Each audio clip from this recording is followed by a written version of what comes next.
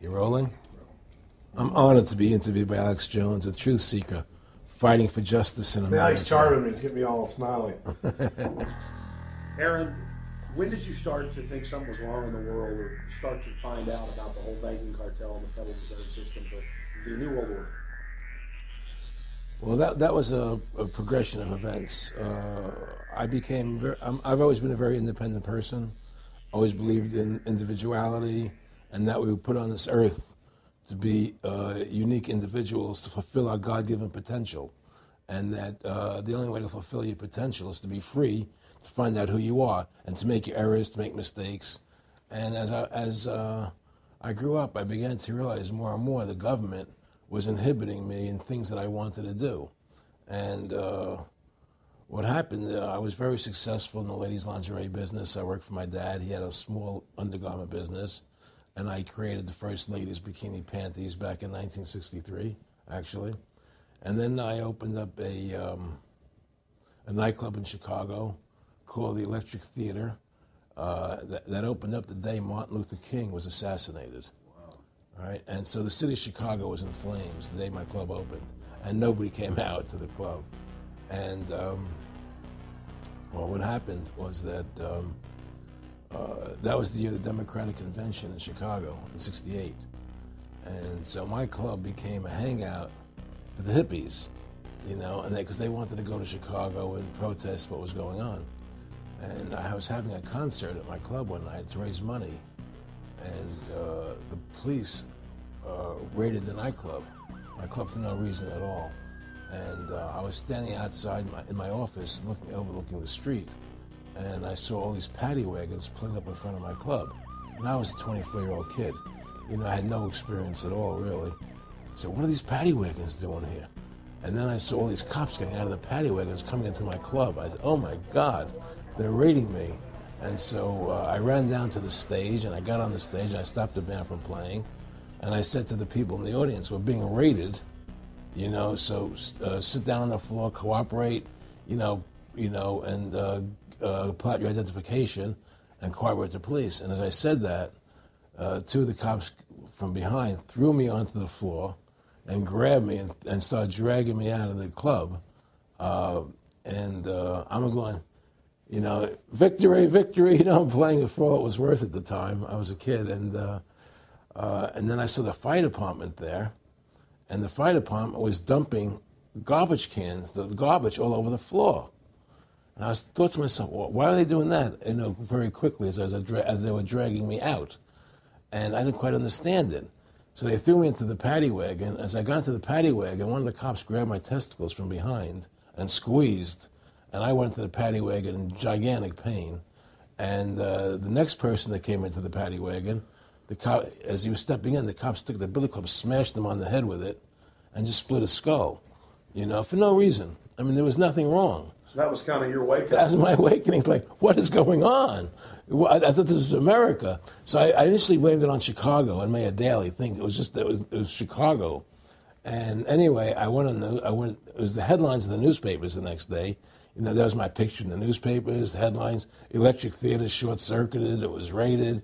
And in the article, uh, they went ahead and they said that uh, the reason they raided the club was because the fire department came there and saw it was messy, full of garbage, and the hippies started attacking them, which was totally not true. Those Yeah. dirty It was- hippies? yeah, it was totally false. You know, it was, it was a complete fabrication. So they ran a false flag on you. They framed yeah, you. yeah, they, of course.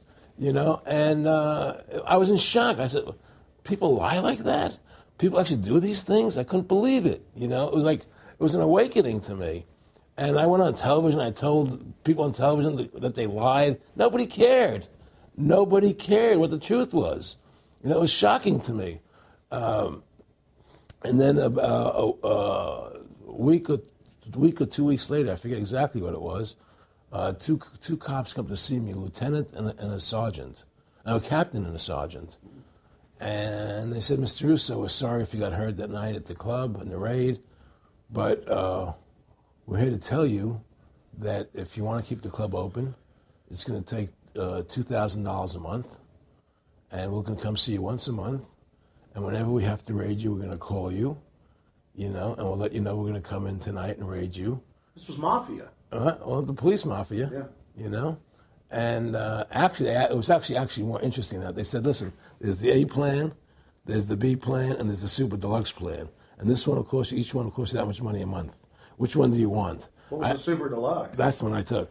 That was a two thousand a month plan, and I took that plan and um, I paid them two thousand dollars a month, and they left me alone. And whenever they were going to raid the club, they would come there. We're going to raid. We're going to have a phony raid tonight, you know, just to look good for the people in the neighborhood, you know. so that was your first big education. That was my education into corruption in government, you know. But I really thought that was basically Chicago. I didn't realize it was the whole country was like that. And so that was my wake up call that people lie and cheat and steal. And uh, I thought everybody was always honest and nice and decent. And um, I had no idea about any of these things. Well, what happened with me was that they finally one day they came to me and they said, Look, we, we, we, can't take your money anymore. I said, Why, what's up? What's going on? He said, We have to close your club. There's elections coming, and the aldermen in the neighborhood don't want you open anymore. So we can't take your money. So I had to go to court and fight them, and uh, they were trying to close the club. And then one night there was a fire, and the club never reopened again. It was, they, the club just closed, and that was the end of the club. And they, they, they burned me down.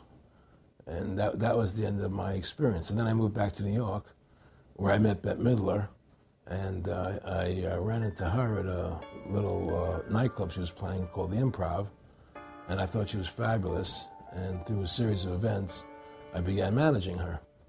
And as soon as I started managing her, her career took off like a rocket. You know, just for, fortuitous, I guess. And um, uh, we became very, very successful. And through managing Bette, I started producing shows on Broadway where I won the Tony, and I produced a television show where I won the Emmy with Dustin Hoffman and Bette, you know. And then uh, I produced The Rose for her, where she got Academy Award nominations. And then that led me to producing Trading Places, which everybody knows, you know. I think it's the best Eddie Murphy movie. Well, it's a good one. I don't know if it's the best, but it's a really good one. And I'm very proud I made that movie. And so, in, in, in my mind, um, I feel as if I've made a classic comedy in Trading Places, a classic musical in The Rose, and a classic documentary in Freedom to Fascism. You know, so I'm very proud of my work that I've done as a filmmaker. Aaron, why do you do this? What's the philosophy of your life? What do you think life's all about? I think the importance of life is to like yourself. If you don't like yourself, nothing means anything. To like yourself means you have to respect yourself. To respect yourself means you have to take actions that you respect if somebody else did them. And what's the point of living if you don't like who you are? You can have all the money in the world, and if you look in the mirror and you don't like what you see there, what's the point of it? So I, to me, the most important thing is that I like who I am, and that I take actions that I would respect if somebody else did them. That you live a life of character, honesty, truthfulness, and I believe that a person has the ability to mold their character like a sculptor can mold a piece of clay. You know, there's no saying that a leopard never changes its spots. I don't believe that. I believe people have the total ability to mold their character into what they choose to be in their life, what their ideals are. And that's what I try to do with my life. I am not the same person today I was as I was 30 years ago. I've changed a lot because I wanted to be something better than what I was before. And my philosophy is that you have to like yourself, you have to be a decent person with character and integrity and honor. And that's what's important. Back in, uh, in the late 80s, I was a pretty big silver trader and gold trader. And uh, I don't think I've ever told this story on tape before. Uh, I was a pretty big silver and gold trader. And um, the uh, I took, and I always paid my taxes, and I took what was a legal tax deduction on my silver trades. And uh, a few years later, I think it was 88 or 89 or something, the uh, IRS claimed that what I did, and other people did as well, was now illegal. We couldn't do it anymore. But they made it retroactive. I said, what do you mean retroactive? It was legal then. We did, I did what was legal. I said, yeah, but it's now we're making it illegal retroactively. And you, it's, that's not good. So you owe us $600 or $800,000. For what? It was legal. How could you make something retroactive? Change the law backwards in time. It makes no sense. Well, we're doing it. And so everybody said they can't do that. So he went to court, a class action lawsuit. And the judge agreed with the IRS and said they could do it retroactively. And that's when I knew that there was something wrong in America with the IRS and the system here.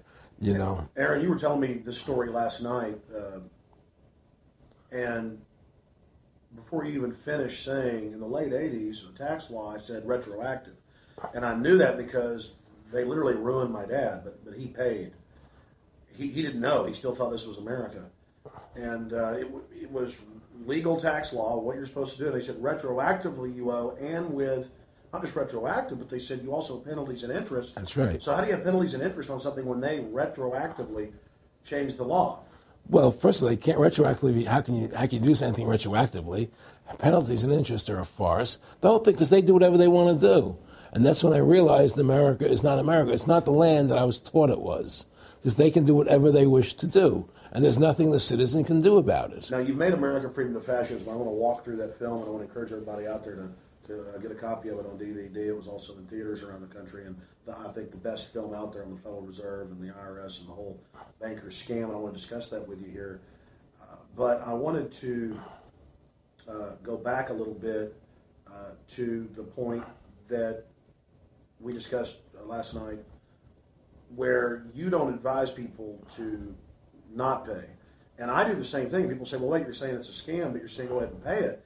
And I like the way you summed it up. Well, it's really fairly simple. I mean, uh, since making that movie, you know, many people come to me and ask me whether they should pay their income taxes or not. You know, and I never advise people not to pay. And the reason I, I tell them, I said, look, I've done a lot of research. There isn't the Supreme Court has ruled that the IRS has no authority. The 16th Amendment did not give the IRS the authority to tax your labor and your wages. That's a fact. All right, the Supreme Court is the law of the land. You know, and uh, and the and the IRS does not trump the Supreme Court. However, that being the case, the fact is, if the mafia would come to you and say, "We want two thousand dollars a month, or we're going to hurt you," I would not advise you not to pay them because you may get hurt by not paying them. Whether it's legal or not doesn't necessarily matter. You're going to get hurt if you don't. It's the same thing with the IRS. They can hurt you. They can put you in jail. They can torture you. So if you don't pay them, you may get hurt. So I never advise people not to pay. You know, I tell people, yeah, pay your taxes. Look what happened to But- Congressman Hansen. Yeah, Congressman, that's a great example. Pay your taxes. But you know what? Shut down the Federal Reserve System, and eventually you won't have to pay those taxes anymore. See, the, the, the IRS is a symptom of the problem. The real problem is the banking industry and the bankers in this country. That's where the real problem lies. That's the root of our problem. That's why we've lost America. Okay? So, yeah, pay your taxes. Because if you don't pay them, you might get hurt. And I've heard all the arguments, you know, uh, how, what tax protesters say and so on and so forth. And I don't call them tax protesters. I call them the tax honesty movement because they're being honest, you know, at least. But the fact of the matter is, you, you're being forced, you're being compelled to pay it because you're facing jail sentences, you're facing time, you're facing corruption of the courts if you don't pay, right? And so you pay it because you just like you'd pay the mafia. But with the mafia, at least you have the government to call and try and help you to get past the mafia, to protect you. Here you have nobody to, to protect you. The, the, the American people are living in a matrix. They don't understand the truth of how things are working in this country. You know, and let me give you an example of what I'm talking about. The very fact is that if you, if you ask 100 people on the street, what kind of government is America supposed to be? 99% of them will tell you a democracy. America is supposed to be a democracy. But that's a lie. That's an illusion. The word democracy is not written into the Constitution at one time. It's not in the Bill of Rights. It's not in the Declaration of Independence. The founding fathers hated the idea of a democracy. They thought it was the worst form of government there is. And I agree with them. Because in a democracy, 51% of the people control 49% of the people. If you're part of the 49%, you're not free. America was founded as a constitutional republic. And in that constitutional republic that we have, 99% of the people can't take away the rights of 1%. You have your rights because you were born with them. You have God given human rights that nobody can take away from you. The government, the majority, no matter who they are, I can't take away your rights. And that's what, that's, that's what our founding fathers gave us. But the psychological operations that they, they do to us, they make us believe that we're a democracy and that majority rules. You see? And they want you to believe that. Because then they tell you this poll says this many want this and this many want that and this many want this, and it doesn't have anything to do with anything. Well, Hitler was elected. Hitler was elected. Hitler did everything legally. And in a re- constitutional republic, a minority is pro- is protected against a majority. Wasn't it Benjamin Franklin, to paraphrase, that said democracy is two wolves and a sheep voting on what's for dinner? Exactly. And then he also said, in a republic, the sheep would have a gun to protect himself. You know, and that's that's, that's the truth. America is not a democracy, but you ask the most intelligent people what form of government America is supposed to be, they'll say democracy, because that's what that's what they've been brainwashed. They've been psyoped into believing that. They believe that we're in Iraq. They believe we're in Iraq to promote democracy. The word democracy, you hear George Bush saying democracy means freedom. No, democracy equals New World Order. Democracy equals slavery. The word democracy is not synonymous with freedom. It's the opposite of freedom. Democracy is the worst form of government you can have because it's majority rule. And the government can tell you exactly what they want to tell you to do because the, the majority wants it. I don't care what the majority wants. I live my life as I choose. And if I don't commit violence, theft, or fraud against another human being, I can live my life as I wish. That's my choice. And if I'm allowed to make mistakes, because when you make mistakes, you learn from them. You grow as a human being. We're put on this earth to become the best individuals we can be, to fulfill our God given potential. Right? We're not here to put on this earth so that the government can tell us how to live our lives and what we must do. We put into these systems and these paradigms. No. The same thing in health. You, you know, if you're sick, you have to have a certain protocol. Nonsense. You know, be individuals, think for yourself, have critical thinking, you know. And so what's happened is that because they've taught everybody that we're a democracy, which is not true, now, so then in 1913, they bring the Federal Reserve System into being, right? And now you have this Federal Reserve System, which then in 1913 got the right to create money for the government, when before that the government created its own money. Now, now the government, when it needed money, had to borrow from this private bank called the Federal Reserve, which is a private bank owned by individuals, incorporated in Delaware. And so um, what happens is now the government borrows money from them to fund the government. Then the government says, well, we have to pay these people interest. How are we going to pay them interest? Let's impose a tax on the labor of the American people, which never existed before, to pay the interest to the bankers. In fact, in 1980, Ronald Reagan said not one red cent uh, of your income tax money goes to run the country. It all goes to the Federal Reserve. Well, it, go, it was the Grace Commission report that said that uh, all the, not one nickel goes to the infrastructure of the country. You know. Uh, I guess Reagan quoted that. Right. And so, um, but the point, the point, the point I'm trying to make is that by creating this Federal Reserve System, the government now became dependent on these private banks for money. And they started take, taxing us, you see. And so now, now what happens is that um, in 35, I believe it was, Social Security started. And they gave you Social Security cards, said not to be used for identification, the Social Security number right on the card, right? And through Social Security, they started deducting money out of your, out of your paycheck. That was the first time they were ever take, could take money out of your paycheck because people agreed to it because they thought it was going to their retirement fund. And so then when they instituted the income tax again, they started taking money out of your paycheck because Social Security could do it. And then, then they could do it again. You see what I'm saying? And so now they've even taken control of the tax, the the tax payment itself. I mean, literally like you're a slave. They're right. taking it right there when you make it. Exactly. They don't even trust the public enough to, to send them a check. Right. So they take it out automatically because they know people aren't going to want to pay it. So what's happened is that through the implementation of the Federal Reserve System, the government has become uh, vested in these bankers, and they get their money from the bankers. And so then they impose a tax on us, which makes us more slaves, makes it more difficult for us to survive, right? Giving them more profits. And now what's happened is that uh, through the, the, the Federal System, the bankers have pretty much taken control of our government. It doesn't matter Republican and Democrat anymore because they're both the same. Neither one of them are talking about shutting down the Federal Reserve System or stopping the payment of taxes, you know, uh, or any of the big issues that face Americans, right? So uh, I had a friend, Nick Rockefeller, okay, who was one of the Rockefeller family, and he. Uh, uh, when I was running for governor in Nevada, he came to me, introduced himself to me through an attorney, and uh, we became friends. We started talking about things, and um, I learned an awful lot from Mr. Rockefeller. And one of the things that we used to talk about was the ultimate plan of the banking industry, what they wanted to accomplish. And the goals of the uh, banking industry, not, not just the Federal Reserve System, but the private banks in Germany and England, all over Italy, all over the world, they all work together. They're all central banks, and they're, and they're all part of the Communist Manifesto.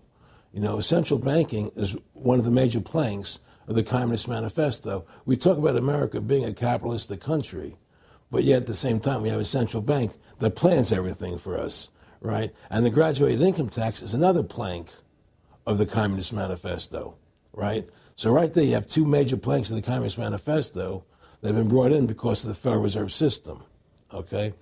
So, uh, the ultimate goal that these people have in mind is the goal to um, create a one world government run by the banking industry, run by the bankers, where and, and they're doing it in sections. The, the European currency, the euro, and, and the European Constitution is one part of it. Now they're trying to do it in America with the North American Union, right? And they want to create a new currency called the Amero, right? And uh, the whole the, the whole agenda is to create a one world government where everybody has an, R, an RFID chip implanted in them. All money is to be um, in those chips, right? There'll be no more cash. And this is given me straight from Rockefeller himself. This is what they want to accomplish. And all money will be in your chips. And so, any, so not, instead of having cash, anytime you have money in your, in, your, in your chip, they can take out whatever they want to take out whenever they want to. If they say you owe us this much money in taxes, they just deduct it out of your chip digitally. Total control. Total control. And if you're like me or you, and you're protesting what they're doing, they can just turn off your chip. And you have nothing. You can't buy food. You can't do anything. It's total control of the people. And that chip's connected to a database that has your purchasing records, what you do, what everything. You. Everything is in there, you know? And so they, they want a one world government controlled by them everybody being chipped, all your money in those chips, and they control the chips and they control people, and you become a slave. You become a serf to these people. That's their goal. That's their intentions. More than a decade ago, I began getting secret government documents, and we published them, where the feds were training uh, the local police uh, and the military that gun owners, conservatives, people that made frequent references to the U.S. Constitution were terrorists. That's a quote. But in 2009, it broke into the national media when we received uh, the secret MIAC report from a state police officer. Um, and that was in the state of Missouri, but the feds had written it, demonizing Ron Paul, people that wanted to end the Federal Reserve, people that wanted liberty and freedom. And now more secret reports have been released, like the Department of Homeland Security report, which the feds admit they wrote, that says returning veterans are the number one terror threat in America, that gun owners uh, are part of that number one threat, that people buying ammo are the number one threat. Think about this. You have these private bankers overthrowing the United States, and they're secretly training the police that gun owners and patriots and veterans are the number one threat. So they're saying the American people that follow the Constitution and Bill of Rights that'll actually stand up against this tyranny are terrorists because they are the terrorists. They are the criminals coming in with a corporate takeover, a hijacking of the nation. Eric, can you be specific about when you met Rockefeller, how it happened in these discussions? Uh, I met Rockefeller through a female attorney I knew who called me up one day and said, uh, One of the Rockefellers would like to meet you. I had made a video called Mad as Hell, and uh, he'd seen the video and wanted to meet me and knew I was running for governor of Nevada. So, sure, I'd love to meet him. And I met him and I liked him, and uh, uh, he was a very, very smart man. And uh, we used to talk and share ideas and thoughts. And um, He's the one who told me uh, 11 months before 9/11 ever happened. That there was going to be an event. Never told them what the event was going to be, but there was going to be an event, and out of that event, uh, we were going to invade Afghanistan to run uh, pipelines from the Caspian Sea. We were going to invade Iraq, you know, to take over the oil fields, establish a base in the Middle East, and make it all part of the New World Order. And we go after Chavez in Venezuela. And uh, sure enough, later 9/11 happened, and I remember he was telling me how how you're gonna see soldiers looking in caves for people in, in uh, Afghanistan and Pakistan and all these places, and it's and there's going to be this war on terror, uh, which is no real enemy, and the whole thing is a giant hoax, you know. But it's a way for the government to take over the American people. He told you it was going to be a hoax. Oh yeah, oh yeah, there's no question. He says there's going to be war on terror, and he's just laughing. There's no who are we fighting? I mean, why do you think 9/11 happened, and then nothing's happened since then? Do you think that our security is so great here that these people who pulled off 9/11, who were able to can't knock down another plane? Come on, it's ridiculous. 9/11 was done by people in our own government and our own banking system to perpetuate the fear of the American people into subordinating themselves to anything the government wants them to do. That's what it's about, and to create this war, this endless war on terror. And that's why we, and that was the first lie. And the next lie was going into Iraq, you know, uh, to uh, get Saddam Hussein out with his weapons of mass destruction. That was the next lie. Now, now specifically, this was a little over six years ago. This was uh, 11 months before 9/11. Yeah. And Nick Rockefeller, who's a lawyer, he is he, he's become your friend over the previous years, and he's saying to you that there's going to be this big event, and then out of that we're going to have a war on terror, and it's just going to go on and on. right, an endless war on terror without, without any real enemy. That you can never, so you can never define a winner. And, and uh, did he say that it's going to be perfect because you can't define an enemy? It just goes on Yeah, because you can't define a winner. There's no one, there's no one to beat, so it goes on and on forever. And they can do whatever they want. They scare the hell out of the American public. Look, this whole war on terror is a fraud. It's a farce. It's very difficult to say it out loud because people are intimidated against saying it. Because if you say it, they want to make you into a nutcase. Let's but the truth, but the truth has to be, the truth has to come out. That's why I'm doing this interview. The fact of the matter happens to be that the whole war on terror is a fraud. It's a farce. Yeah, there's a war going on in Iraq because we invaded Iraq, and people over there fighting, you know.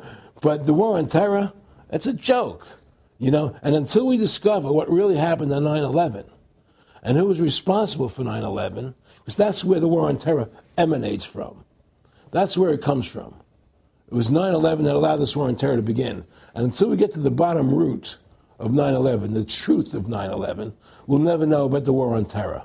Aaron, you said that he was, and I think it's important, and I know this about the Rockefellers from Dr. Dennis Cuddy and many others who literally, you'll be 20 years old in a lunch line at college, and it was David Rockefeller. And he here's here. I mean, they're experts at recruiting and getting what they call players, and that clearly he was. I mean, I want to make it specific and just get you to reiterate what you said last night uh, about you were you got 30% of the vote. You were having an effect. You you you made mad as hell. They knew that you'd started the Constitution Party. Yeah. They knew that you were uh, somebody who was taking action and getting things done. You'd already made some big films, had a lot of other successes. Right. So they were trying to recruit you, and, and, and didn't it come down to the point of, hey, we are here to recruit you, and don't worry, your chip's going to say, don't mess with us. You know, this guy's uh, don't touch. Yeah, uh, yes, that did happen. I was definitely being recruited, but it's more subtle than that. Well, your words, just go through the process, and then and then what he said. you. Well, what it is is, uh, we remember we were friends, and we used to have, he used to come to my house a lot. We'd have dinner, we'd talk, and he'd, he'd tell me about business investments that he get involved in, you know, or they would help me with this business investment or that business investment. And was I interested in joining the Council on Foreign Relations? You know, I would have to get a letter to join them, but was I interested in that? And uh, you know, just uh, just stuff, you know, leading you on. And, and uh, I, used to say to him that I never really did that because that wasn't where I was coming from.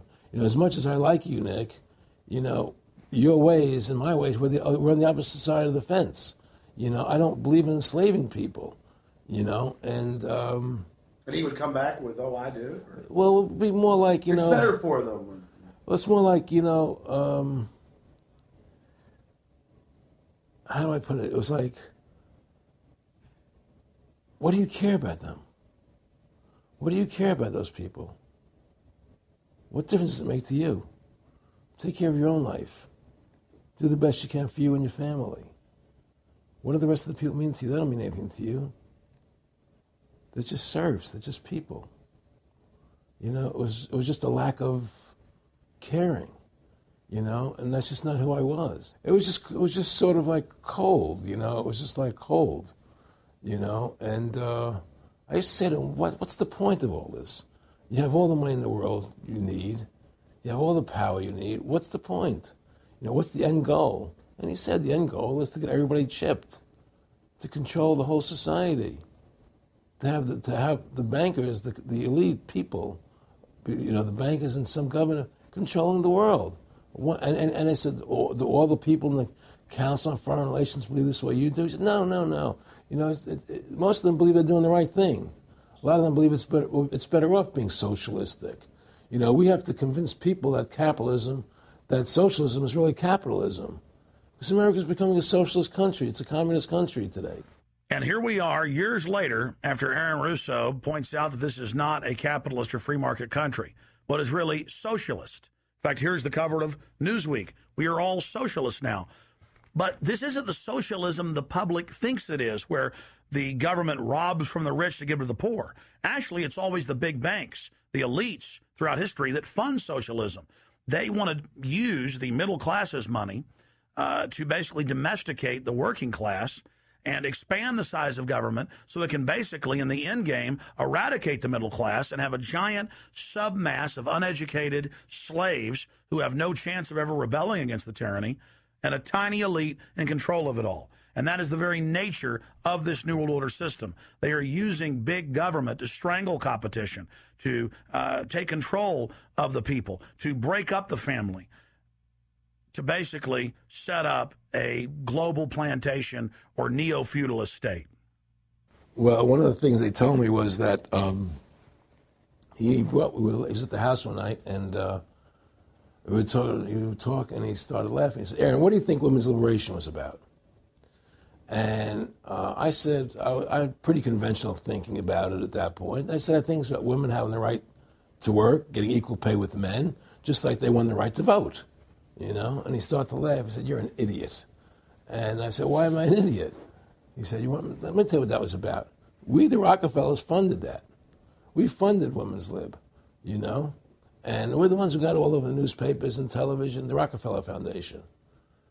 He says, and you want to know why? He says, there were two primary reasons.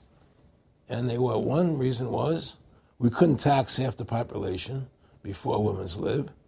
And the second reason was now we get the kids in school at an early age. We can indoctrinate the kids how to think. Because It breaks up their family. The, the kids start looking at the state as the family, as the school, as the officials, as their family, not as the parents teaching them. And so those are the two prim- primary reasons for women's lib, which, which I thought up to that point was a noble thing. You know, when I saw their intentions behind it, where they were coming from when they created it, the thought of it, I saw I saw the evil behind what I thought was a noble venture. Uh, you know- Aaron, did you know that Gloria Steinem, in one of her own books, now admits the CIA funded Ms. Magazine? No, I had no idea about that. No, I never heard that. Yeah, we're going to CIA funded Ms. Magazine? funded Ms. Magazine with the stated goal of taxing women and breaking up the family. No kidding. I never heard that. Well, Nick told me. I mean, I mean, I know it, but not because I know the CIA was involved in it. Well, she Gloria Steinem was proud of it. Oh, the CIA wanted to help me help women. No And- kidding. So they funded it. Yeah, and, and of course it's divide and conquer. Right, and, of and course. what they do is they focus in obviously on real problems. Women were getting shafted in many ways, but the elite didn't wasn't planning to help them. They were planning to really shaft them and take men away from them. Look at what they did with black families. You only had about ten percent illegitimacy 50 years ago uh, in black communities, and now it's over 90 percent. And look at welfare. You were going to give you some money, but you can't have a man in the house. Right. And, and so that was further to degrade the family, Family. totally destroyed, uh, and, and and now illegitimacy is over 50 percent in the general population. Right. Well, see, the whole thing is, is these people control the money, so they make all the rules. You understand? And, and they put whatever rules they want into effect. And the truth is, America has really become a socialist, communistic country. And nobody, everybody says it's a capitalistic country. It's not a capitalistic country. You know, how can it be capitalistic when you have a central bank? That's the first. You can't. It can't be. You know, the It's money. a planned economy. It's a planned economy. It's, it's, it's a phony. If they want to create prosperity, they just print dollars. They just make dollars or put digits into the economy, and, they, and then now you have prosperity. You don't have real prosperity. You don't have real manufacturing. You just have you just have money being injected in. It's an infusion of credit, Which only being- makes the government go into more debt. into more debt. The Federal Reserve is poison to our country. Of course it is. It's poison. Whoever makes the money makes the rules. Rothschild said that. And they make the money. Why are we allowing these private bankers to make the money for our country? It makes no sense. Why are we paying interest to these banks to make money for us when the government can do it itself without paying interest and without all that debt? There's no answer to that question, and it's the question no politician will raise. Everybody talks about America's debt, how much debt we're in. We're in debt because we have to borrow money. But we don't have to borrow money. They designed it so we go into debt. Exactly. We can create the money and back it by gold so, have, so they can't create too much of it. So you don't have the inflation. And, and do what the founding fathers gave us. But instead, the bankers make the money, they control the government, they buy the politicians, they tell us who gets into office. You have computer voting, that's a fraud. They do whatever they want to do to us. They do whatever they want to do to us. And it has to stop. My friendship with Nick Rockefeller was one where we were uh, we expressed ideas to each other and thoughts and philosophies, and he wanted me to become part of what they were doing, and for me to become a member of the CFR, and uh, offered various business opportunities for me to get involved in, and for me to um, not take up the fight or the battle that I've been taking up in the past. You know, to drop that idea because what was the point of my fighting for the people? I was a guy who was very successful in the movie business, and I saw the truth of what was happening. I tried to express it to the people, and rather than having me express it to the people, they wanted me to join their side because I was a mover and a shaker, and rather than me opposing them, to join them. It was real simple, and uh, he tried to recruit me into that situation, and um, I didn't go for it. Did he get angry when you didn't go for it? No, no. And, uh, you know, it's like, you know, I remember one time he said to me, you join us, so you, so you have an ID card there, and, you know, you have a chip, and your chip will say KMA on it. And uh, I said, what does KMA mean? He said, it means kiss my ass. and anybody stops you, a cop or whatever, and you show them your card or your chip, and uh, they'll, they'll know to leave you alone because you're one of us. One of the Why, why are you fighting for the people for? What, what is that about? The people are just, you know, th- th- they have to be ruled. They have, they have to be, you know, the, the Constitution, what, we, what you're standing for, is only for a few people. It's only a few individuals that can live that way, you know, and uh, we believe that it's best for society to be ruled by an elite people who uh, control everything. And I said, I don't believe that. You know, I believe God put me on this earth to be the best person I could be, and put everybody on this earth to be the best they can be, not to be a slave and a sheep to you and, and these people. And I don't understand why you want to control everything. What is the need for that? You know? And uh, I asked them, do all the people in the Council of Foreign Relations feel the same way you feel? He said, no, a lot of them think they're doing the right thing. They think that socialism is the best way to go. They think that, uh, you know, uh, that they're doing the right thing. But the people at the top, they all know the truth of what's happening. And, and that's what so, it is. so it's compartmentalized within the elite structure as well. Of course, it is. Of course it is. I mean, all the people that, that are in the CFR was that two, three thousand people. If you go to like Dan Rather, they don't know. They don't know what's going on. They just they, they, join the CFR because it's prestigious. They think it's good for business. It's good for this. You know, they don't know what's really happening. You know, the evil that comes out of it, that's emanating out of it. You know, and uh, to me, you know, uh, the biggest evil is what's happening right now because uh, this, what happened on 9 11 is a phony, you know, and we've never learned the truth about 9 11. That's the question I wanted to uh, follow up on. He tells you 11 months before there's going to be an event, all this is going to happen. What did you think on the morning of 9 11? Where were you, and did you think about Nick Rockefeller and what he had told you when you saw those towers fall? No, I, I was actually in Tahiti when 9 11 happened. and I got a call from my son, and um, my son said the Twin Towers, they were just attacked and they were falling down or something. So what are you talking? I, I, was in Tahiti. I was asleep, and uh, said, "Yeah, they were hit by a plane." Da, da, da. And so uh, where, I, where I lived in, where I was in Tahiti, there was no television, so I had to run on the other side of the island to a hotel where they had, and it was all on television, you know. And that's when I first saw the stuff on TV about it. And I, I didn't immediately equate it to Nick, you know. But when I realized that we were going to go into Afghanistan, Iraq, and as that developed, I realized what it was. How could there be a war on terror and, and, and actually say that we're having a war against terrorism and leave the borders wide open? If you were the President of the United States, or I were the President of the United States, and, and 9-11 really happened the way they want us to believe it happened, the first thing you would do is shut down the borders so people couldn't get in the country to harm you. But they left the borders wide open because the bankers want the borders open because they want a one world government. They want, they want a North American Union. They don't want borders here. The 9 11 was only a manifestation, it was done to create a fear in the American public, right? So that, that we will obey what they want us to do. And the very take Richard Reid, the shoe bomber. Here's a guy who was six foot six, ugly as could be. I heard he smelled. Okay, he sits in coach on a plane lighting matches to put his shoe on fire, surrounded by people. It's idiotic. If you were going to blow up a plane, you go into the bathroom, you close the door, and you put your shoe on fire. You're not going to sit there surrounded by people lighting matches on a no smoking flight. They want you to believe this nonsense. It's ridiculous. Seven Sevens come out now, and the majority of the British people think it's an inside job, and all the evidence points towards it being an inside job. Yeah, I mean, I mean, what happened in London? Yes. All this is nonsense. It's just keep people in fear. It's this endless war on terrorism that doesn't really exist. So people will be uh, submit to whatever the government wants them to submit to. Searches, check your shoes, have ID cards, put chips in you. You know, where you become servants to the elite. That's what this is all about. You know, restore America's republic to what it's supposed to be. Get the bankers out of our government. Get, change. Get, get the bankers out of our government. Government should stop borrowing money from the banks. Government should make its own money, restore the republic, individual freedoms. That's what this country's about. And until we do that, we're gonna we're gonna be slaves. I mean, to me, uh, I, I, see, I, I, see people like Bill O'Reilly on television, right? And I see how much they control the media. Like there's this girl on Bill O'Reilly the other night uh, from an organization saying the world can't wait. And she, this girl was spot on. Everything she was saying was the truth. And all Bill Riley could do was call her a lunatic. He couldn't challenge the facts. They, they just call people names.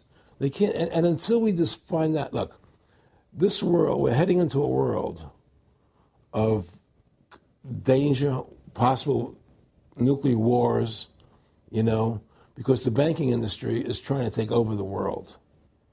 9 11 is the beginning of the war on terror. That war on terror is leading us into Iraq, which is the next lie. So you had the lie of 9 11, how that happened. No, nobody knows how Building 7 came down. Okay, we know 9 11 was a fraud. The American people don't know it, but more and more of them are believing it. Okay? So that was the first lie. Besides the inception, I'm, I'm not going back to the inception of the Federal Reserve, that original lie. But 9 11 was the first lie in this present state we're in. 9 11 is the kickoff of the war against the American people and the people of the world. 9 11 was a phony, it's a fraud. It didn't happen the way they told us it happened. Now, because of 9 11, we then had the authority to go into Afghanistan and Iraq. Iraq didn't have weapons of mass destruction. Okay? So that was the next lie. Now they're talking about going into Iran. Now, how would you feel if you were Iran? And you had this big, powerful country, America, go into your next door neighbor, take over, take over their oil fields, right? Wouldn't you be worried that what they were going to do to you? Of course you're going to be worried. But, uh, but the people of America don't think about it from Iran's point of view. They think about it from our point of view. So now we're going to send more troops into Iraq and keep building up because they want Iraq and the Middle East to become part of the New World Order. And uh, Iraq was using uh, Saddam wanted to start using euros instead of dollars, right? He was messing up their, their whole consumption. Iran is, wants to start using euros instead of dollars. They are, they have. Okay? So I'm saying what they're trying to do is preserve their power. And one lie leads to the next lie, leads to the next lie. And until you get to the root cause of 9 11, which is supposedly the war on terror, we'll never solve our problems here. Should we send more troops into Iraq? Should we not send more troops into Iraq? Well, the truth is, the fact is, that it all goes back to this war on terror. Where did 9 11 come from? That's the root cause of everything. And until we have a full investigation, find out why Building 7 fell down, why they shipped all the steel out of America so quickly, you know, from the buildings, why, why all the um, things that don't make any sense about 9 11, until we find out why it really happened, you know, we'll never understand why there's a war on terror. And we'll never be able to prove that the war on terror is a phony. You know, Nick and I discussed many things. One of the things we discussed, or he brought up in conversation, was reducing world population and felt that there were too many people in the world. In a way, I agree. There are too many people in the world, but I don't think I have the authority to say who's going to die and who's not going to die. You know, but they felt that uh, they wanted to reduce world population, and uh, he felt that it should be reduced by half. He even mentioned to me once uh, they, they, they, were having a real problem trying to solve the Israel um, Palestinian problem, and he talked to me once about uh, they were playing with the idea of bringing Israel to Arizona you know, and taking all the people from Israel and giving everybody a million dollars and setting up Israel in the state of Arizona. Unbelievable. Just to, to end that to end that problem because that, that, that's a problem that they that they're not in charge of, in a sense. They, they they're not controlling that problem. They're very arrogant. They can do whatever they want to do. We have and we, we've given these people the authority to create money out of thin air, and through that device, they control everything. And if you want to win the battle to stop that, you have to deny them the ability to create money. It's only because they can make money that they have all this power. They literally have the money machines. They, they have the money machines. They can print it. They can do whatever they want to do. They own everything. Aaron, we take over pretty quick. If we were the guys that issued the money, everybody had to come give us real assets for the use of this money we just printed up. You know, people. People. Uh, you know, I, I tell people. You know, uh, why in the world does the American government borrow money from the banks when they have the ability to create it themselves without borrowing it and paying interest on it? Why? And nobody can answer that question. Not one politician ever raises that. Why does the American government borrow money when they can create it without paying interest? Well, we did create it up until uh, 1913. 1913. And, and so people say, well, because if the American government does it, it'll create inflation. That's the answer. I say, well, let's look at it. The American government has the Federal Reserve do it, which creates the same inflation as if they did it. But also with the inflation, now you're getting massive debt. So with the Federal Reserve, you have inflation and debt. Now, if the American government made the money, backed by gold, which limited the amount they could make, you wouldn't have debt and you wouldn't have inflation. But but inflation was only about fifty percent from the 1780s. I've looked it up until the late 1800s, and then we have the central banks already trying to cause some panics, which they then used to push the Federal Reserve. And if we look at inflation since 1913 into 2007, uh, it's exponential. In fact, a dollar is worth about two pennies what it was worth in 1913. Federal Reserve Chairman, former Federal Reserve Chairman Alan Greenspan, doubled the money supply from 2000 to 2006.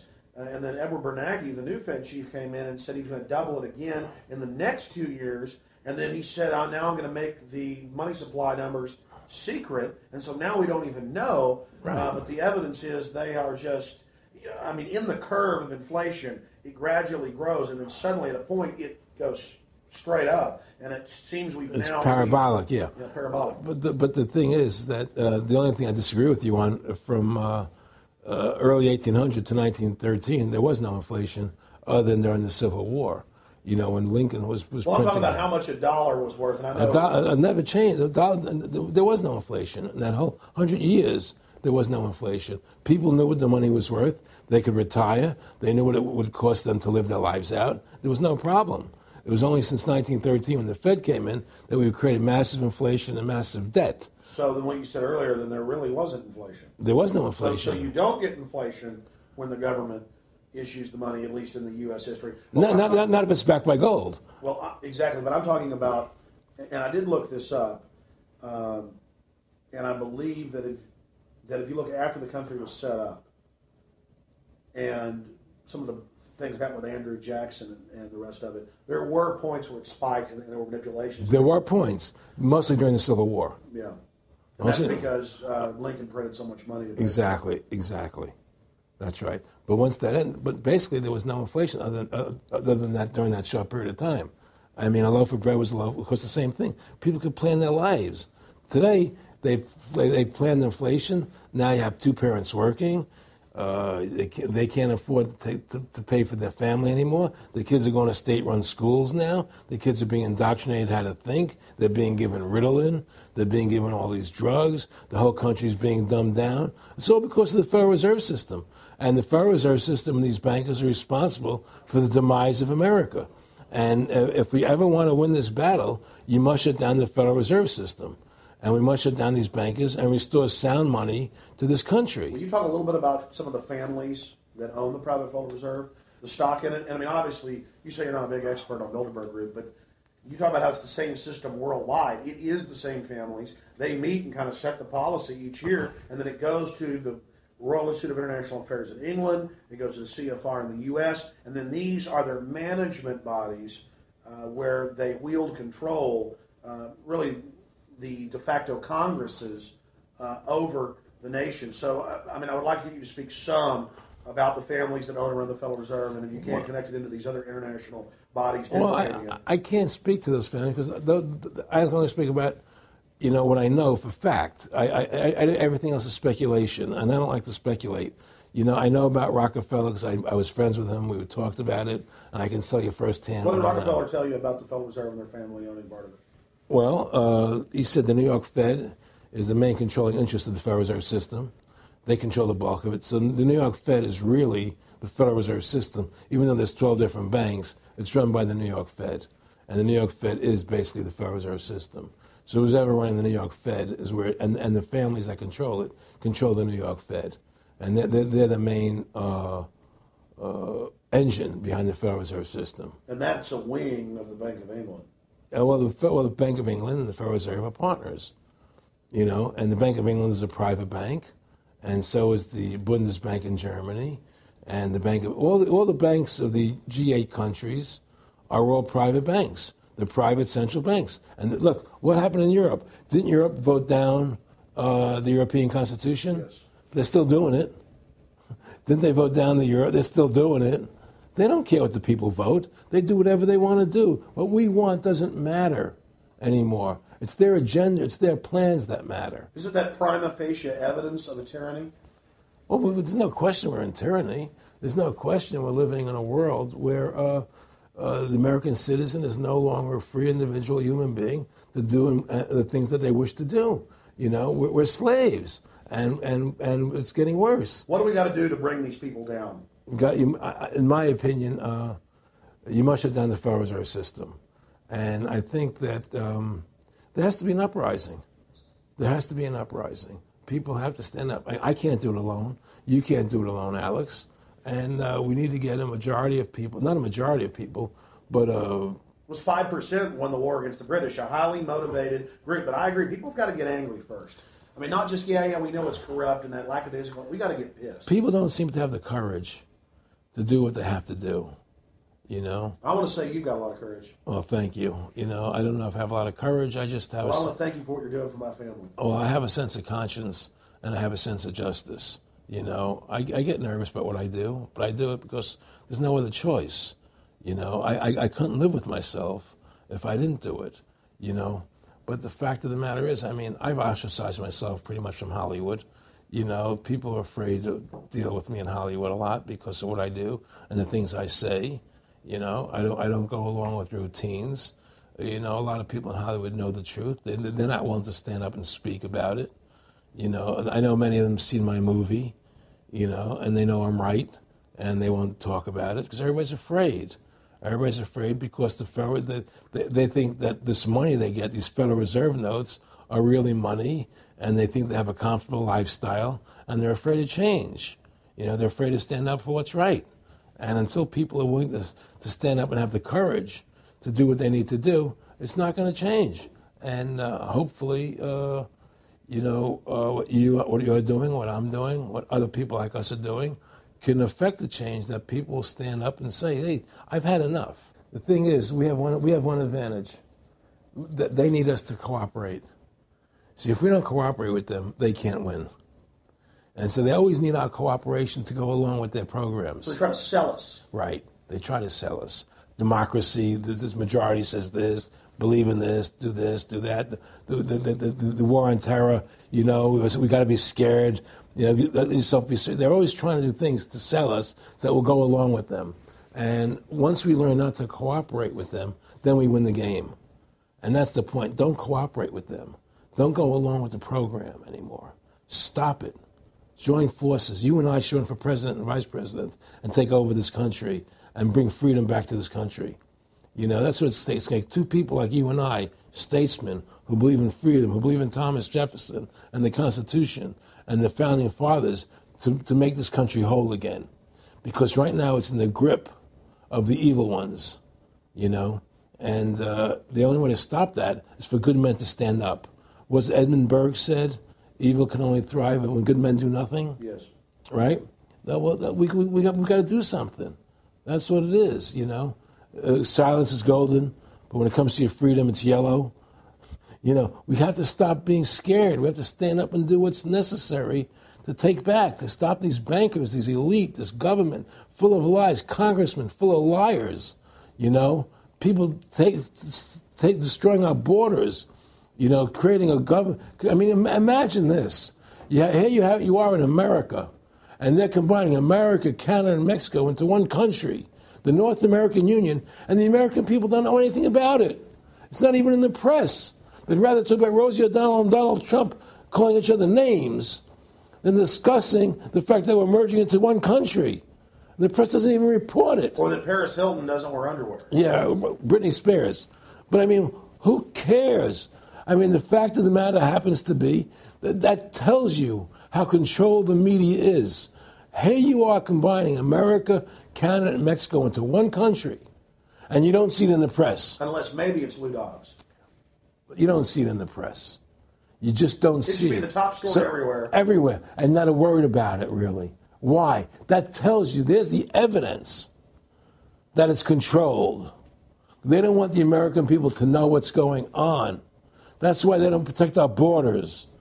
That's why we're losing our Constitution, the very document that secures our freedoms. There is a rising tide against it. There is a rising tide, but we have to mobilize.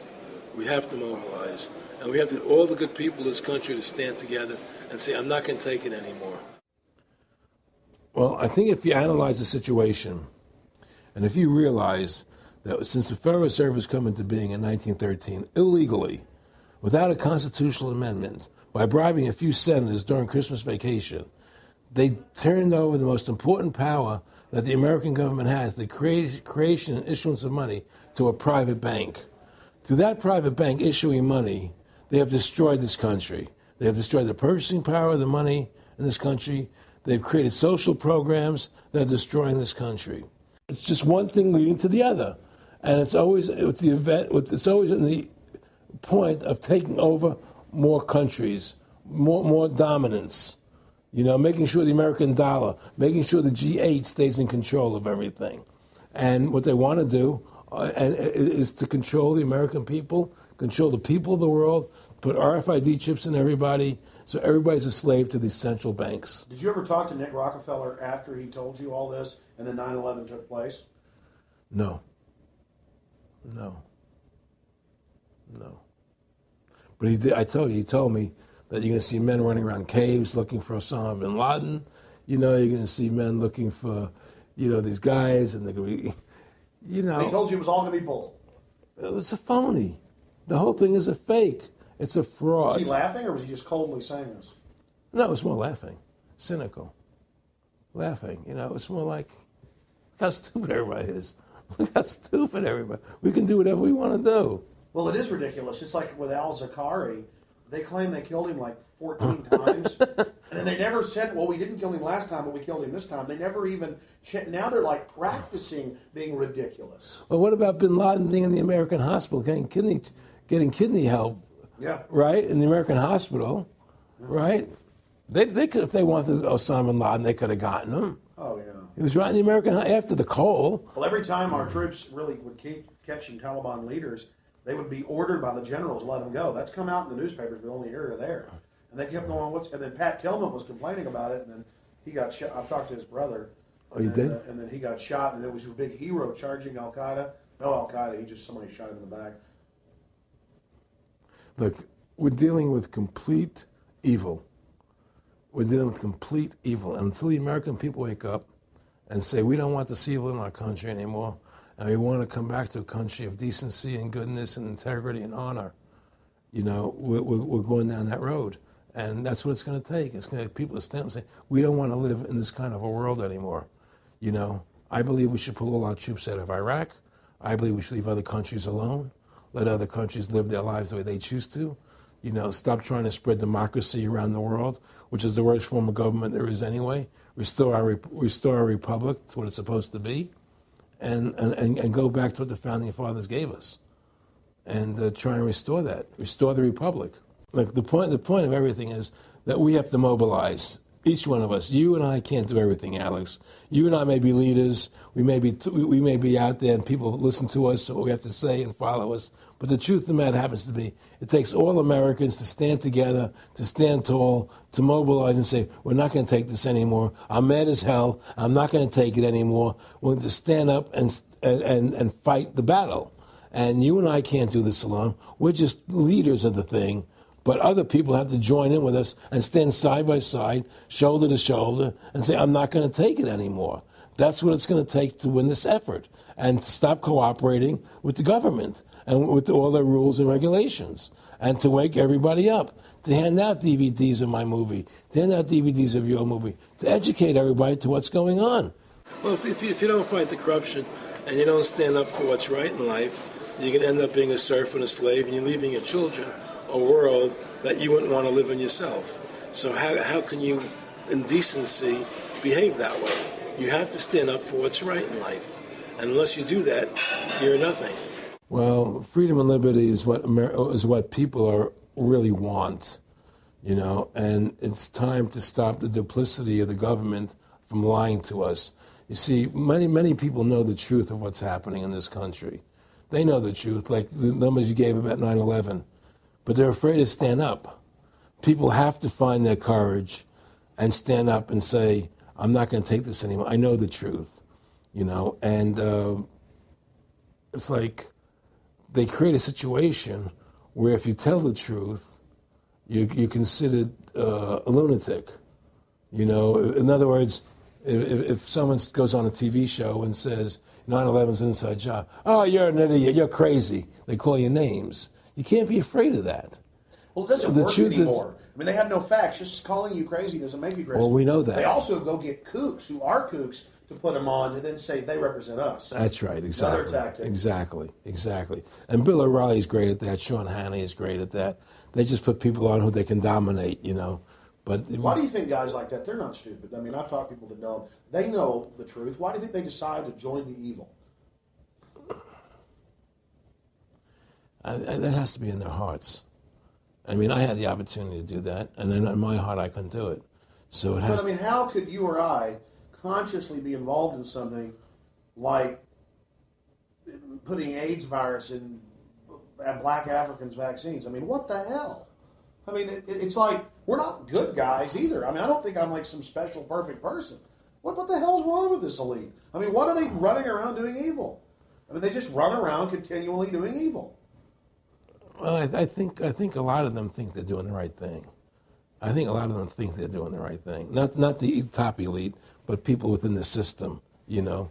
But I think that uh, it's all it's all about, uh, as Nick said to me, it's about control and power. They have all the money they want. They can make all the money they want. They they have a machine that can make all the money. it's not about money. It's about control. It's about their vision of how they want to see the world in their eyes. And, um, you know, you and I believe in individuality, in the person being the dominant thing, the individual being the dominant person. Today we live in a world where institutions are dominant, not people. You know, the American, you know, we the people, by the people, for the people. Now it's we the institutions, by the institutions, for the institutions. People are secondary. It's all about corporations and institutions. And the Federal Reserve is the biggest institution in the world. You know, if you ask somebody what's the biggest corporation in the world, they'll say uh, Google or Walmart or Exxon or something. But the biggest corporation in the world is the Federal Reserve System, right? And all the other corporations feed off the nipple of the Federal Reserve System. Well, it's like the monopoly game. Uh, the bank always wins. It has unlimited money. It's not the people playing on the board. Exactly. The bank owns the board, the box, the, right. the and shelf it's sitting on. So, so, but that's because you gave them the ability to make the money. You have to take that away from them. You need to take the bank away from the private bankers. Exactly. You have to take the creation of money away from the private bankers, and you'll solve 95% of your problems. Well, let me look at America 10% growth rates every year, like China's having right now. The U.S. had 10% growth rates until the Federal Reserve took over. And then if you look at that, it all starts really going downhill from there. And, and well, they destroyed the American worker. They, what they've done, here's what's happened. The, the Federal Reserve has created this massive inflation in America, which means that the American worker has to keep making more money to keep up uh, uh, with the cost of living. The more money they make to keep with the cost of living, the less competitive they become in the world economy. So now what happens is we have to pay our workers so much to keep up with the cost of living, saying, well, screw the American worker, let's go overseas now and get the cheap labor. But really, that's and, a war being waged against the middle class. Of course, the bankers print the money. The, I mean, really, this is a war being waged against the middle class. The bankers print the money. Everything they're doing is about destroying any private pools of wealth or independence. Yeah, but, the, but, the, what I'm trying to say is because of the inflation that they've created, the, they've now allowed other countries to outcompete us. You see, because other countries don't have to pay as much money as we have to pay here to our workers to survive. Yes. So now we're not competitive anymore. So we've lost our manufacturing base. We've lost our competitive. In the, in the old days, the American worker you want to buy everything American. You wouldn't buy anything from Japan, which was cheap crap. And what does that leave us? It leaves America this military force, and so the elites giving us a deal. We'll continue to build up your military and give you homeland security jobs, shift your economy over to being the bulldog enforcer of the New World Order. Exactly. Do, and, and by controlling the economy, they force everybody into that position. That's exactly correct. That's exactly correct. And we, we, we, there's no more manufacturing here. We're a service economy. We do nothing. We provide nothing. We provide nothing to the rest of the world anymore. Well, first of all, Freedom to Fascism is a movie that everybody should see because we, we, we, we show the fraud of the uh, income tax. We show how judges put people in jail for no reason. We, we show the corruption of the justice system. And we show how the Federal Reserve came into being and how it's controlling society. And, uh, the new, and how all the uh, central banks of the world are working together through the Bank of International Settlements in, in uh, Switzerland, uh, which is the central bank for all the central banks, and how they all work together to create this one world government, the one world order, which is what they're trying to do. So, uh, Freedom to Fascism is a movie just to get you a good basic education about how the world is really working. And I really want everybody to see that movie. Critical. In terms of the uh, CFR, in terms of compartmentalization. I mean, there are many good people, I believe, that are part of these organizations who don't even understand what the organization is really about. People like, like when I was in Germany doing cancer treatment, uh, there was a gentleman there who was a uh, visiting a friend of his who had cancer, and he was a member of the CFR, and uh, we were talking, and uh, I showed him the movie. He said, "Oh my God, I'm going to resign." I had no idea this was what, this, what CFR was about. He had no idea. He was just a nice guy who thought he was in this prestigious organization. Yeah, a lot of it's about getting good people, and, and so you can watch them. Keep your friends close, your enemies close. Well, no, that wasn't even that. It was well, a lot of people join the CFR because they think it's a prestigious organization. It'll, it'll help them in business, make good business contacts, They don't. They didn't have an understanding that the CFR is really about world domination, about uh, you know how they and the Trilateral uh, Commission, the Bilderbergers, all work together, you know, the banks to control the people. They don't. A lot of them don't understand that. They don't see the big picture. Oh, it's CFR. It's a prestigious organization. I'll make this one. I'll make that one. I can do good business deals out of it. It's just business to them. The CFR wants to get the people in there that have influence and power, you know, and uh, uh, so they're part of that. So they're not they're not opposing them, you know. It's like the the, the whole the whole country today is becoming the haves and have-nots. You're getting you're getting the very very wealthy, the middle class is being destroyed, and you're getting the poor people. Isn't this just a slick mafia that took over and, and, and uses fancy PR? Well, ma- you can you can call it mafia, you call it whatever you want, but it's, it's definitely a criminal organization. There's no question about it. But it's a criminal organization that has prestige, you know, that hasn't that that, that appears to have um, uh, what's the word I'm looking for? Uh, Class. class, style. You know, it's like, you know, respected. It's respected. People don't look at it as being criminal organization. That's what a great job they've done. You know, people look at Alan Greenspan as being a hero. You know, the maestro. You know, What do you think happened with him in the, in the late 60s? He wrote a big section, a chapter for Ayn Rand uh, in a book, and he talked about how horrible the Federal Reserve was. We needed a gold standard. Now the bankers are robbing us. And then they literally came and said, oh, and you see somebody who, who, who made a deal with Beelzebub. Well, you know, exactly. You make a deal with the devil. I mean, it gave him a chance to uh, to be one of the most powerful men on the earth, you know, and it gave him a chance to accomplish things he never thought he would accomplish in his life. Other than that, and it's very seductive. You know, it's a very attractive perfume. I mean, I was attracted when they came to me and spoke to me about it. I thought about it. I was attracted to it. You know, they asked me if I wanted to open up these nightclubs, you know, open up a chain of Baywatch nightclubs, you know, and we'll do this thing, we'll do that, and we can do this. and we- I mean, all these things were proposed to me, business ventures. But I, I, I you know, I, You know what it is? It was your nature, though. You, it just, it's the way you are. You, you couldn't take the deal. Well, I, I can't do that to people. I, I don't. I, I just can't be in a position where I can do that to other people. I just I have a conscience, and my conscience would not permit me to do that.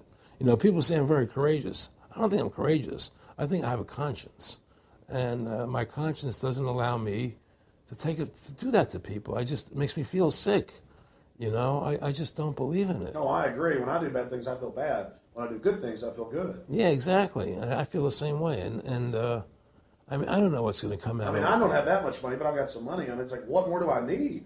I can go on a trip if I want. I can help you know, pay for my kids to go to school and be have my wife, you know, comfortable. I mean, how would I go out and screw people so I could have some more junk? Well, you, you know, mon- money money's a funny thing. You know, I, I was talking to uh, Michael Eisner one day, and I said to Michael, you know, you know, you may have a billion dollars, Michael, but they're all dollars. You know, you know, if the dollar goes bad, what, what, how much money are you going to have? You know, and that's the th- and that's the thing. You know, you, you know, everything is denominated in dollars. Everybody thinks in terms of dollars, but the dollar has no value. And then someday, it's, it's you know, everything returns to the mean. Well, really, the whole universe, financial universe we live in, is a matrix fraud. Yes, it is. And that's why it's going to come crashing at some point. And they're going to try and hold it up as long as they can. I mean, whenever they want to manipulate the markets, they can. If they want to send the price to go down lower, they can. If they want to send the stock market up, they can. They do that. There's no more free markets. You don't live in a you don't live in a society where free markets rule anymore. You don't live in a capitalistic society. You know. But meanwhile, they say it's capitalistic Right. and free market all day, when really they're waging war financially and politically. Exactly right. Aaron Russo, I want to thank you for this interview. Anything else you want to add? No, I'm happy. I'm happy to do do it for you. I'm How about your website? My website, freedomtofascism.com. Go over there, take a look at it, you know. But just, folks, you know, all I can say is, you know, take our country back, restore the Constitution. Don't let these bankers do this to us anymore. Stand up, don't be afraid of them, and uh, do what you got to do, you know. And um, I have plans in the works, and uh, when I get over my, my uh, problems, you know, I will will reveal them, you know. And Well, I'll uh, be supportive of that. Thank you, Alex. And listen, you've done a great job alerting people to the truth. And um, don't, don't, don't, in other words, don't be afraid to be ridiculed by these people. You know, if 9 11 was a phony, and I know it was, then stand up and say it's a phony. Don't be don't be scared to tell the truth. Don't allow their um, you know their their powers of um, trying to make you look silly uh, to frighten you. What'd you think of what Charlie Sheen did? I love what Charlie Sheen did. I was so uh, respectful of what he did. I was I want I, I just applauded him. People saw right through that attack. They like they flipped a light switch when they went after him. Yeah, but you see, but they don't. You see, the thing is that more people don't come out and do it. You know, to build that wave. Charlie did it. I'm really proud of the guy. David for doing it. Lynch did. But, They- but the media was smart and didn't bite this time. They did The- it. right. I mean, a few people have, but they're not picking up on it because they control the media. Brolin, James Brolin did on The View. I heard that. I heard that as well. But again, they're not picking Barbara up. on Walters looked like she was about to have a heart attack. But not. But they don't pick up on it. You see, they, they, they don't. They don't allow it to go anywhere. You know, it comes. If someone says something, they let it die. You know, but they keep perpetuating. You know, the war on terrorism. They keep perpetuating all these things that are lies. And uh, because we- we've given the Federal Reserve the money-making power, they control the media, they control the government, and they're all in bed together. So we, we, you're fighting all this propaganda all the time, and it's a very difficult fight.